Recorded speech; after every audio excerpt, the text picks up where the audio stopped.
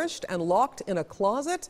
Her mother is going to trial. 41 Action News reporter Sarah Plake is live downtown at the courthouse where the proceedings have already started. Sarah?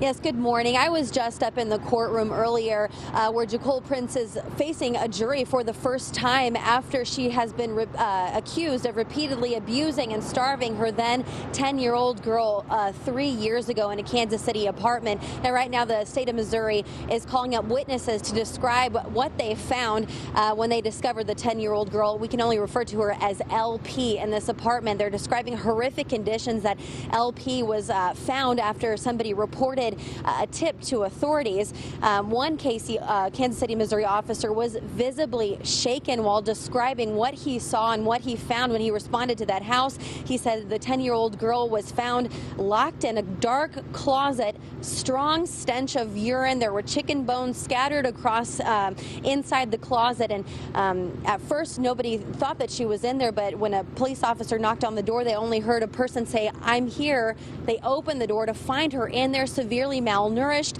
Now, Jacole Prince is accused of uh, malnourishing her child, starving her child but her attorneys are saying that she suffers from a mental disorder and could not form the intent to do those things to her, and she didn't know that she was starving and hurting her child.